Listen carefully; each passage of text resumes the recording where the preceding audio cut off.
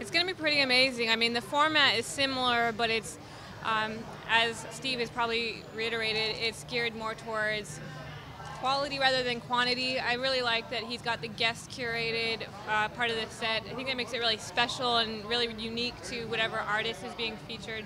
We got a sneak preview last night in rehearsals, and uh, it was special. Yeah, we're looking forward to it. It's going to be a lot of fun. You guys got a some tour dates coming up? We do a lot of tour dates. Yeah, we're going to be on the road for about four months, like with very short breaks in between. USA, Canada, Europe, and then more after that.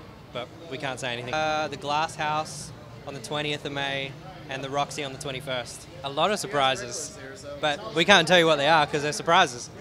basically had your entire band play here with Rolazo singing.